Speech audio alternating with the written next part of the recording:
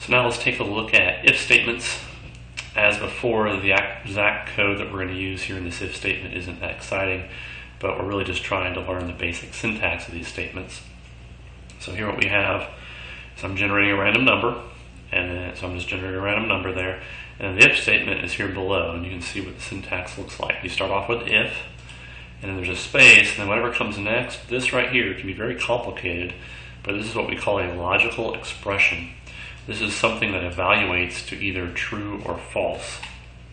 So x greater than a half, that evaluated to a zero or false, because for this specific case that we're running right now, x is only equal to 0.45. 0.45 is not greater than a half, so it evaluated to this zero. So this is a fairly simple statement, but it could be more complex in general. Because that failed, we're going to go here through the else branch the if statement. So the syntax is if, some type of logical statement, else, and then the remainder of the code, and then you wrap it up with an end. So because we didn't pass this logical condition, we're going to come in here, and then what are we doing in here? Again, the exact details of this aren't all that important. You can put any type of code that you want based on the type of logical condition and type of logic you need to implement. What I'm doing right here is I'm clearing the display. So if I step, it's going to clear the display. And then it's going to display the string x is less than a half. So I'm actually just going to print this out to the screen. So I got printed out to the screen. So the DISP command lets you display strings. And then I use the fprintf command to actually print out the value of x to the terminal. So I'm going to use x equals, this says I want to print a float with a certain amount of precision. So if I let that go, we'll actually print out x equals, and then there's the actual number that we had for x. x was equal to 0.4574. If we turn on format long, we actually can see exactly what it's equal to, to many more bits of precision there. But when we printed it out using the fprintf statement, I just printed it out using three decimal places of precision. So that's why it was rounded to 0.457.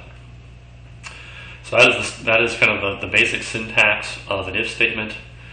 You can actually make this more complicated. We could have done else if x is x is less than 0.2. Could have done something more elaborate here. Maybe something like this. Else 2.3.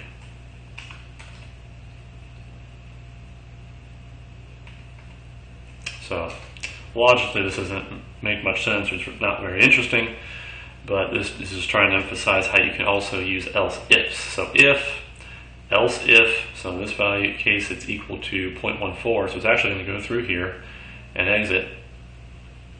If we let it finish running, we can run through it again. Let's see what we get this time. Maybe we'll get a more interesting value for x. So actually it's greater that time. Let's go ahead and uh, We'll force it to be a specific value this time so we can get into that second branch of the if statement. So x is equal to 0.22. Let's, have, let's just cheat for a minute and make it equal to that.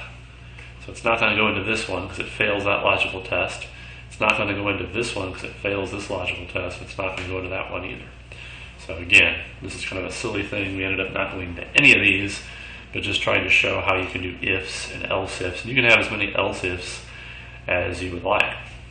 Again, let's also do an example here. You can also combine and make the logical expression much more complicated. So we could do if x is greater than 0.5, else if, we put something more complicated here, x is less than 0.4 and uh, x is less than 0.2.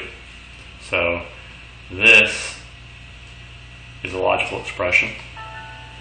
Oops, I forgot my space. It evaluates to 1 because x is less than 0.4. This is another logical expression which evaluates to false because x is not less than 0.2. This and will and both of these. This will end up telling us something false as well. So if we ran this, we would not come into here because this total logical expression evaluates to false. And like I said, this is not very interesting or very useful, but just trying to emphasize the point that in your if and else parts of this if statement, what goes inside this logical expression could be something very complicated. And it could be a, a long logical expression just as long as it all evaluates down to a final logical, a zero or a one. So that's how you do if statements in MATLAB.